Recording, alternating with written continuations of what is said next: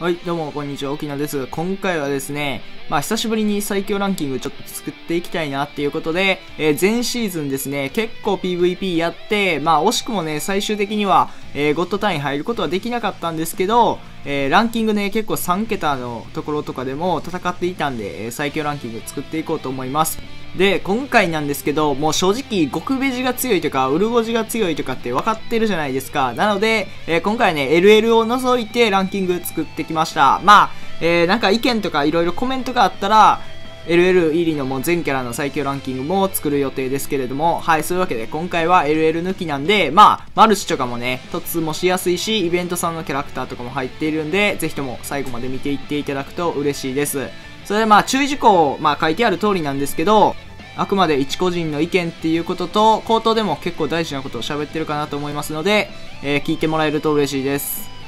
はい、それでね、LL 覗いてるってとこで、まあ、逆になんかキャラの把握が難しかったんで、もし見落としているキャラクターいたら、えー、すいませんということで、まあ、コメントの方で優しく教えていただけると幸いです。あとは僕が前期使っていたスパサとか極ベジ未来からのね、えー、視点っていうのもあるので、まあ、ちょっとね、そういったところで順位が他の方と感覚違うかもしれませんので、よろしくお願いいたします。それでは早速やっていきましょう。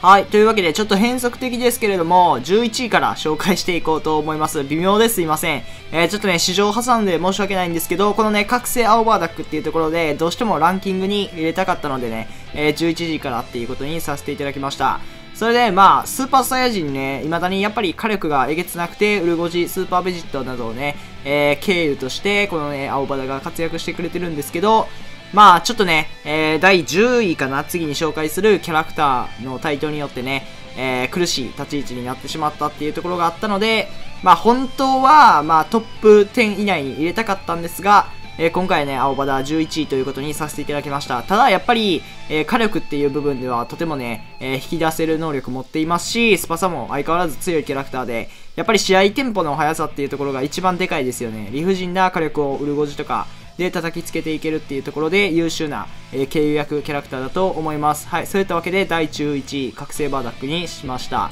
まあ、超軸ラッシュでも覚醒できるキャラクターだったと思うんで、えー、困った人はやってみていいかなと思います。はい、というわけで第10位が覚醒チルドになります。ほぼ最新のね、覚醒キャラになるんですが、やっぱりこのキャラめちゃくちゃ強いですね。系譜の、まあ、新しい覚醒ってことで、必殺がやっぱり一番やばい気がする。必殺場に出るだけで2回までドローできたのかな。プラス、えー、この麻痺付与っていうのがね、地味に強くて、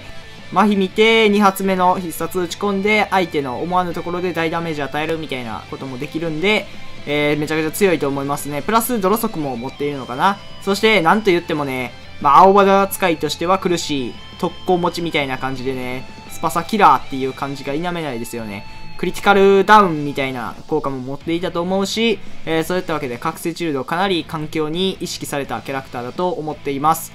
まあ、このキャラぐらいからじゃないかな、系譜が強化されだしたのは。はい、そういったわけで、Z アビリティも超絶優秀なんでね、ただポットフリーザが選出される機会、僕が使っている限りは多かったんで、まあ若干下げ目の順位にはしています。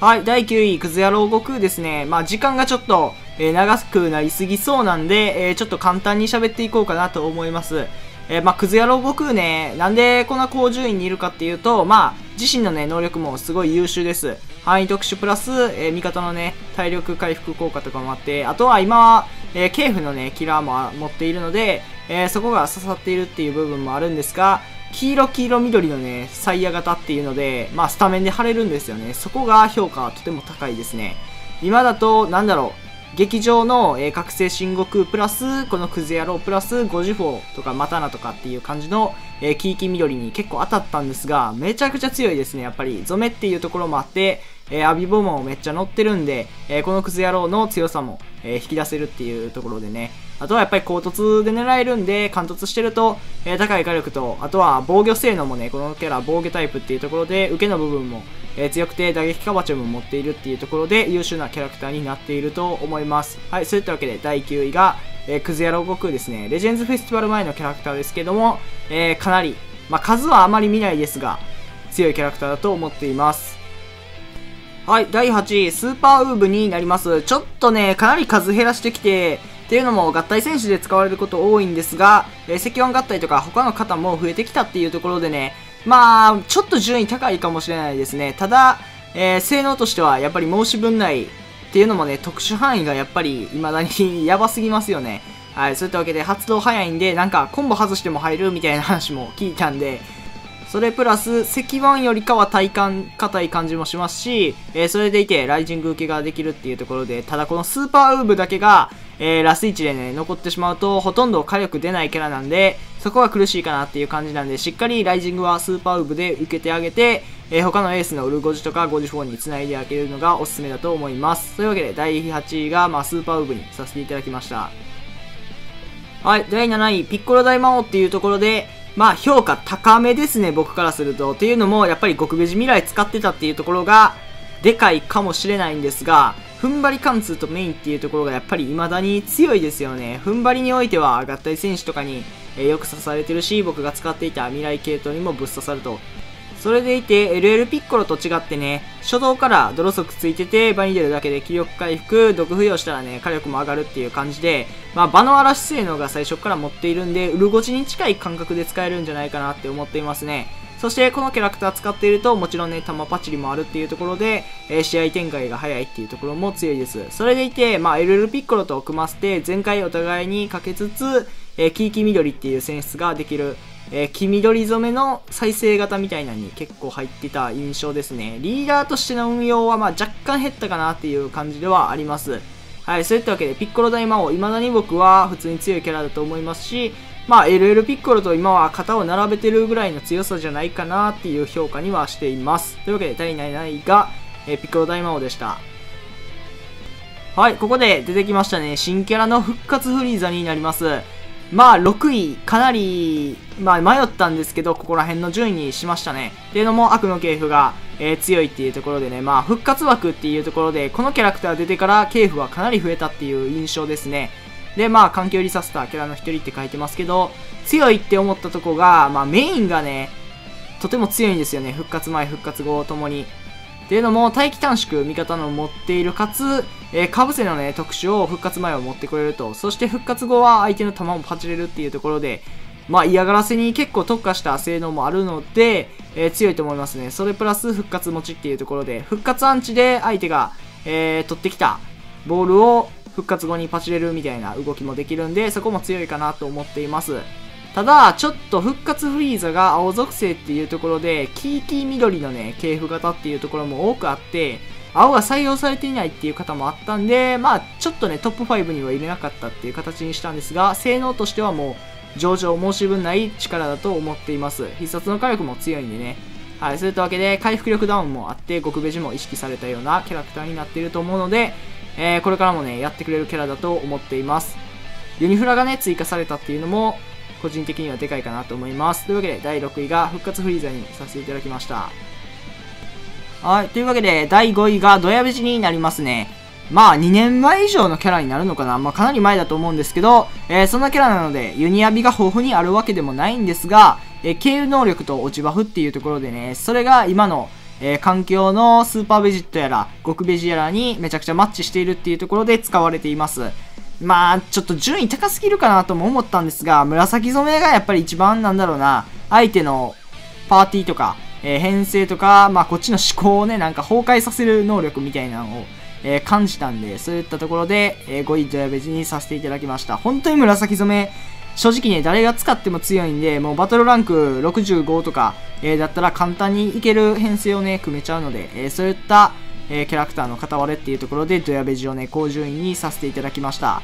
まあ、このキャラクター1体だけ残ったらね、もう、ウーブ以上に、えー、腐るキャラだと思うんで、え、しっかりと、お祈りかわちゃん乱用とかせずに、ライジングありそうな時は、このドヤベジで受けてあげるっていうのが大事かなと思っています。はい、そういったわけで、第5位がドヤベジですね。まあ、これからちょっとずつね、環境では見ないようになってくるキャラかなと思いますので、まあ、マルチフルまではしなくていいかなと、個人的には思います。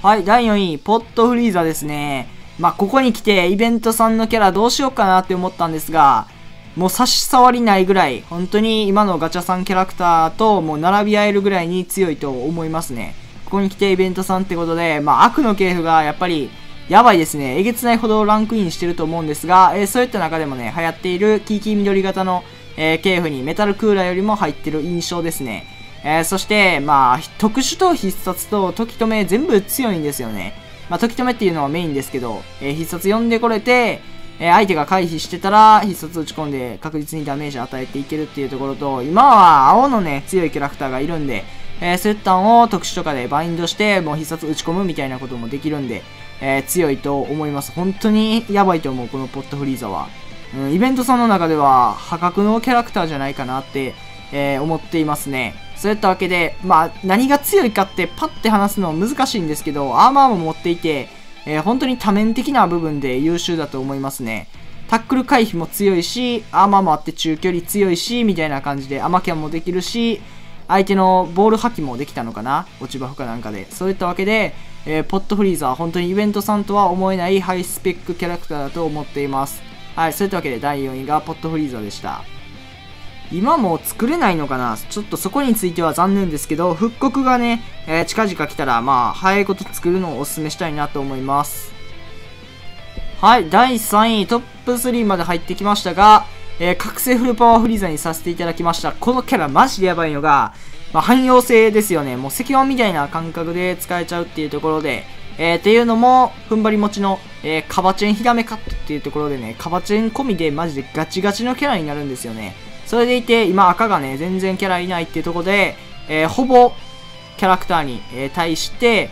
当倍以上の、えダメージにしかならないんで、まあそういったところで優秀かなと思います。まあ反転ベジータとかに対してはね、緑出してあげれば、えー、いいんで、まあそういったところで黄緑選出にもしっかりと入っていける、えー、組み込めるね、キャラクターっていうのも非常に優秀。うん、本当にね、今、覚醒できるキャラですけど、始めたばっかりの方とかは、マジで、あの、スペシャルミッション買ってもいいんじゃないかなって思うぐらい、これからも生き長いキャラクターになってくれると思っていますね。はい、そういったわけで、本当に石腕並みの強さしていて、まあ、石腕よりも耐久ある分、いいんじゃないかなと僕は思っています。安定性をやっぱり保てるっていうのは、レジェンズの PVP で、えー、すごい重要だなと思ったんで、かつ汎用性もあるっていうところで、えー、かなり高順位にさせていただきました。特殊とかもね、あのー、相手の射撃とか打ち消せるっていう効果あるんで、まあ、牽制にもなって待機カウント回せるっていう部分もすごい、優秀かなと思っていますね。踏ん張り持ちと相性いいかなっていう感じで。普段あんまりしっかりとブーストしない僕でも、このフルパワーフリーザはね、えー、全部200%にしたんで、まあ、いいキャラクターだと思いますね、本当に。そういったわけで、えー、期間中にね、ぜひとも、あの、超連戦バトルとかもクリアすることをお勧めしたいと思います。第3位が、えー、覚醒フルパワーフリーザでした。はい、第2位、覚醒親子悟空にさせていただきました。まあ、3位と本当に迷ったんですけど、数としてはね、えー、ちょっと前の覚醒キャラっていうところで、まあ、フルフリよりかは、今は見てかなっていう感覚なんで、覚醒親子悟空にさせていただきましたね。で、性能なんですが、落ちバフ性能がね、新しい LL バーダック出ましたよね。プラス UL ゴジータとか、いろんなキャラに対して相性がいいっていうところで、えー、高相性で評価させていただきました。あとは、ライジングとか、究極とか、その他諸々に対しての待機短縮の効果があるので、えー、落ちバフと相性がいいと。そして、まあ、落ちバフ持ちなんで、ライジングを切らせたりっていう動きとか、えー、体力、まあ、雑に削ってもね、いいんで、えー、適当に動かせるっていう部分も割と強いかなと思っています。そして、泥速プラス気力回復を場に出るだけで持っているんで、えー、最低限の攻撃力とコンボ力があるっていうところでね、えー、そういったのも裏のアタッカーと繋ぐのっていうのも、え相性いいかなと思います。そして今はね、本当にキーキー緑が強い環境なんですよね。さっきも言ったんですけど、クズ野郎、この覚醒悟空、えー、5次法みたいな編成が本当に当たるとね、えー、厄介なんで、そういったわけで、えー、この悟空も自然とスタメン張れるんで、評価が高いといった感じですね。というわけで、第2位が覚醒親子悟空でした。まあちょっと凸少ない方も多いと思うんで、えー、そこはね、マルチ振ってあげる必要もあるのかなと思いました。はい、第1位、ザマスロゼですね。これ本当に過剰評価っていうか、僕が使ってたからっていうのも、まああるかもしれないですけど、まあそれ抜きにしても本当に強いと思いましたね。えー、このキャラクター本当にやばくて、まあ一番僕が評価したのは、えー、さっき紹介したピッコロ大魔王とか、あとはなんだろうな、フルパワーフリーザーとかかな、そこら辺の当倍の踏ん張り貫通持ちをちょっとね、えー、ホープとか石板で受けるのってできないじゃないですか、ライジングを。それを、このね、体力ほぼマックスのザマスロゼなら、割とね、えー、耐久余裕で耐えてくれるっていうところで、そこが本当に評価高かったですね。そういったわけで、まあ相手がフルフリとかピッコロ大魔王を、リーダーにしてるときは必ず僕は選出していましたね。プラス UL ゴジータとか反転ベジータの受けの回答にもなっているし、本当に属性的に立ち位置が今は強いと思いますね。そして耐久も、えー、珍しくね、今のキャラクターたちについていけてるっていうところで、さすがレジェンズフェスティバルの SP キャラクターですね。はい、そういったわけで、普通に特殊とか必殺も強くてね、あの、ぶっ壊れの必殺玉吐きのやつですね。あれがメインで持ってくれるっていう部分も非常に優秀です。そして裏のね、ホープソードとかって打撃カバチャ持ってるじゃないですか。それで外してきた相手に対して、特殊打ってバニシング奪ってライジング直当てできるみたいなケースもあったし、されることもあったんでね、本当に注意しないといけないキャラクターだなと思ったんで、えー、ザマスローゼ本当に評価高いです。というわけで、えー、僕の中では、まあ、これちょっと低いんじゃないっていう人もいるかと思いますが、えー、第1位にさせていただきました。ザマスロゼおめでとうございます。はい、というわけで今回はですね、LL 抜きにした SP の最強ランキングっていうのを作っていきました。ぜひともね、えー、参考になったっていう方はチャンネル登録、高評価、何かしてほしい企画とかあったらコメント欄に気軽に教えていただけると幸いです。というわけで今回の動画は終わっていこうと思います。ご視聴ありがとうございました。